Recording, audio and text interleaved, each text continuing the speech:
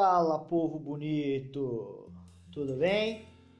Jader Gomide aqui. Tô aqui apresentando o meu set de pedais. Olha aí. Simples, mas pro que eu faço tá de bom tamanho.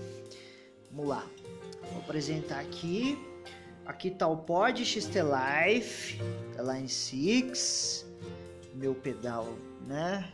Ele supre bem as minhas necessidades. É uma pedaleira que tá fora de linha já, né, meu? É ultrapassada aí para os dias de hoje, mas enfim, me serve bem, né? Gosto muito dela. A case, a case feito à mão pelo meu querido amigo Quincas. Vamos lá. Aqui eu tenho uma outra case, outra case, outra case, enfim. Meu violãozinho guerreiro, tô pagando em suadas prestações. Calma que não acabou. Calma aí, calma aí. Aqui eu tenho minha fendoca, minha bonitinha. Eu gosto muito dela, uso ela já há um bom tempo. Comprei do meu querido amigo Zop. Aqui estou eu. Esse não tem preço. Vamos lá. Não sei se a câmera vai me captar bem assim, assim, enfim. Tô aí, ó. Tô, aí, vamos ficar assim. E aí, pessoal? Legal que é o objetivo desse vídeo, por que, que eu tô falando de preços, de valores, apresentando meu equipamento. É, a gente está passando por um momento de crise no nosso país, um momento terrível. Né? A gente tem o famoso efeito dominó. Se as empresas começam a mandar as pessoas embora, isso vai refletindo nos pequenos. Eu me, me incluo aí nos pequenos, né? Os pequenos negócios vão sofrendo. Então, o que eu tenho observado já não é de hoje é que tem muita gente que sabe tocar um instrumento e às vezes toca com toca bem o instrumento e trabalha com outra coisa, tem uma outra fonte de renda. E de repente a pessoa se vê numa situação que ela é mandada embora e de repente ah, eu vou dar uma aula de violão para ver se entra uma grana. Eu não tenho nada contra isso. De maneira alguma. Eu acho que a pessoa que tem o, o, a opção de pôr sustento dentro da sua casa de forma honesta, eu, meu, eu apoio a pessoa, né? Então eu acho que tem que correr atrás mesmo, cara. Vai correr atrás do seu pão, vai correr atrás de dar um jeito de pagar as contas, e é assim que tem que ser feito mesmo. O problema é quando você entra no mercado sem conhecer esse mercado. Por exemplo, eu tenho observado pessoas entrando aí no ramo de aula por ser um ramo fácil de ganhar dinheiro, é, eles, essas pessoas entram desvalorizando a nossa classe. Ontem eu passei por uma situação curiosa em que eu, eu dou aula de guitarra e violão já há uns 15 anos meu, que eu tô nessa, nessa praia. E nesse tempo eu sempre divulguei as minhas aulas através de panfletos, enfim, hoje a gente tem a internet, o YouTube, o Facebook, enfim, né, os desapegos da vida aí que a gente divulga o nosso trabalho. E, e eu estou entrando agora num ramo novo de aula que é o ramo de aula via Skype, né? E antes de eu chegar com o meu valor, eu fiz uma pesquisa com músicos que eu considero bons na área, músicos que eu respeito, e eu cheguei fazendo uma cotação de preço para eu não desvalorizar a minha classe. Eu respeito a minha classe. E os meus amigos me responderam, me passaram os valores e me ajudaram a eu determinar um preço. Eu cobrei um preço até abaixo do que eles me passaram, com certo temor, né? Mas assim, eu, eu tô entrando agora nessa, né? Então eu não quero jogar um valor muito caro, até mesmo por uma questão de, de, de, vamos dizer assim, de concorrência, mas uma concorrência honesta, não uma concorrência desonesta. E aí uma, uma das pessoas, alguém veio mandar mensagem é, procurando meu trabalho, eu passei meu preço, a pessoa achou caro. Bom, eu vou falar o preço aqui. Eu cobrei 130 reais. É um valor, na minha opinião, baixo, porque. Mas é um valor competitivo. E aí a pessoa fica a critério da pessoa escolher o profissional com quem ela vai querer, né, estudar.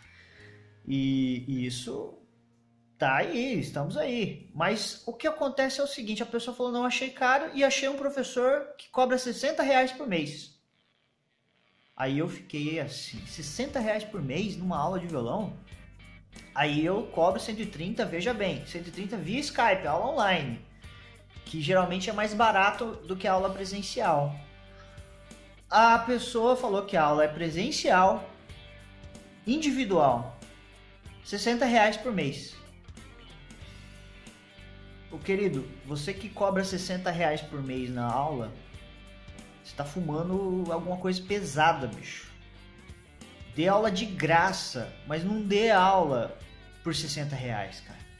Não faz isso, bicho. Você tá se desvalorizando e você tá desvalorizando a classe musical. Faça uma pesquisa, vê quantas pessoas estão cobrando e cobra um valor justo, um valor certo. Eu não quero, não tô aqui discutindo se você é bom, se você é ruim. Veja bem, cara, eu mostrei aqui no começo desse vídeo os valores que a gente paga em equipamento de som. Equipamento esse que você exige, que você que contrata um bom músico exige um bom som, né? É óbvio, tem músico aí que tem talento de sobra, que não precisa de um bom instrumento para expor o seu talento. Isso é fato, mas isso é um outro assunto. Mas o, o que se vê é o seguinte, é uma exigência em cima da gente. Se você não tiver uma guitarra Fender, você não é bom. Se você não tiver, enfim, é o que a gente vê por aí. A gente precisa de bons equipamentos. A gente sabe, o bom músico sabe que bom instrumento ajuda. A gente sabe. Tem muito músico bom que toca com um instrumento ruim porque às vezes não tem grana para comprar um instrumento bom. Então é isso que acontece. Óbvio que a primeira opção é você ter um instrumento bom, né? E você que às vezes vai apreciar um show, tenta prestar atenção no equipamento que está sendo usado ali pra, naquela estrutura, naquele palco, para você escutar um som legal. O som que você escuta no CD é, é, é tudo, tudo exige muito do músico. Financeiramente falando, se vocês soubessem o tanto de imposto que a gente paga em cima dos nossos instrumentos, gente, é terrível é, é, terrível. A gente tem que pagar imposto em cima de imposto, né? Vamos lá, 60 reais por mês na sua aula. Isso aqui é um encordoamento de guitarra é, que está aí no mercado, é o que eu uso. Ele está aí no mercado avaliado em uns 50 reais. Se você for numa loja, acho que a última vez que eu fui numa loja física, eu encontrei esse encordoamento por 75 reais.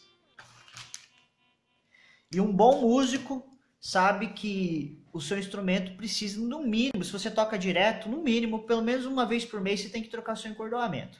Um bom músico que cuida do seu instrumento sabe disso. Ah, 60 reais por mês, meus queridos, não paga. Não paga a corda que a gente usa, gente. Então, olha, eu vou falar, Fundação Cultural Cassiano Ricardo oferece cursos gratuitos e a, a, Fundação Cultural Cassiano Ricardo, eu não tô aqui fazendo propaganda, não, não tô, não tô recebendo nada da Fundação Cultural.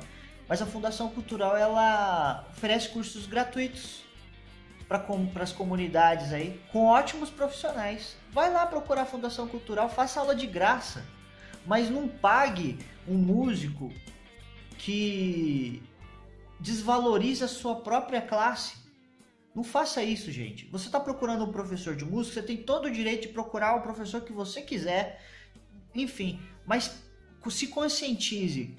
Pense que tem um, um, um, uma classe, né? Pensa na sua área, no seu trabalho. Se alguém faz isso, você é cabeleireira, aí de repente vem uma pessoa que abre um salão de cabeleireiro do seu lado e cobra um valor bem abaixo do seu, né? Tenta se pôr no lugar da gente. Isso não é certo, gente. Isso não é certo. Tá ok? Eu, eu não concordo, essa é minha opinião. Eu não estou expondo nomes. Olha, é, faça uma, uma pesquisa. Eu moro em São José dos Campos. São José dos Campos é uma cidade que tem ótimos músicos, ótimas escolas de música. Uma escola de música hoje com uma boa estrutura, com bons profissionais, você não vai pagar menos de 200 reais. Eu estou falando de boas escolas. Eu não vou citar nomes. São José dos Campos está bem servida de escola de música, está bem servida de professores. Então faça uma pesquisa. Você vai ver que tem professor aí cobrando um valor certo e oferecendo bons serviços, né? O professor que garante que você vai aprender alguma coisa, né? O objetivo do professor não é só ganhar dinheiro, é ensinar você a tocar, é ensinar você a re realizar o seu sonho de ser um, um bom músico ou aprender a tocar aquela música que você tanto quer. Não entre nessa de pagar um, um cidadão para que ele é, vamos dizer assim, contribua para o mercado negro da música. Então, assim, gente, essa é a minha opinião. Eu não quero é, entrar aqui, eu não vou citar nomes, a pessoa que, se ela estiver vendo esse vídeo, não, enfim, não quero polemizar nada aqui, né? É minha opinião. Eu, eu ia, foi ontem esse episódio, eu, eu ia fazer o vídeo ontem, mas, enfim, é, no calor da emoção a gente é melhor não fazer, falar nada, né? Respira um pouco. Eu resolvi fazer esse vídeo hoje porque eu, como músico, eu me sinto na obrigação, na obrigação de falar sobre isso. Eu não posso ficar quieto diante de uma situação dessa. Então, assim, fica aí é, a, a, a mensagem pra gente se conscientizar, enfim. Se você concorda, tamo aí, compartilha, dá um joinha aí embaixo, comente, vamos debater sobre esse assunto. Tamo, eu estou aberto à, à discussão, né? É, se você não concorda, beleza também. Enfim, tá, tá aí a discussão em aberto, tá bom, pessoal? Mas enfim, a minha opinião, a minha, a minha visão sobre, sobre o assunto, eu acho que o músico tem que se valorizar, tá bom?